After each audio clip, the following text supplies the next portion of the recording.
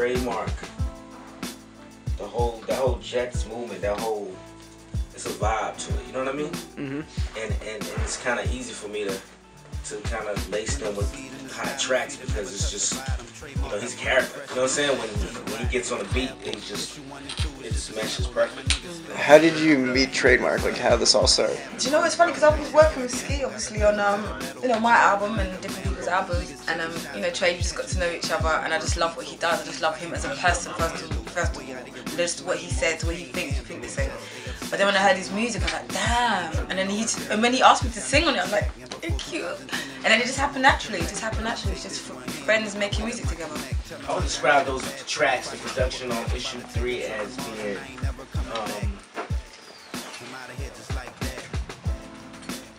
it's not the same. It's, it's definitely some diverse sounding shit. You know what I mean? 'Cause we got, we got, we got up here, Terri Walker.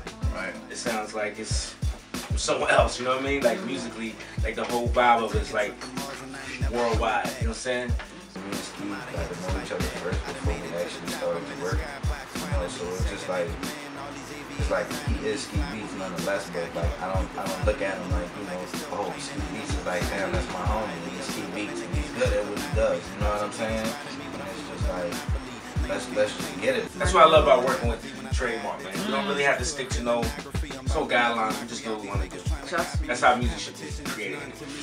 Double comes out is what you got. Much respect for Ski. You know, he, he a trooper just like myself. You know, Ski said at one point when we were doing issue three, we really had to uh, stay up for 42 hours and do 10 songs and we can't do it. So I got much respect for Ski, much love.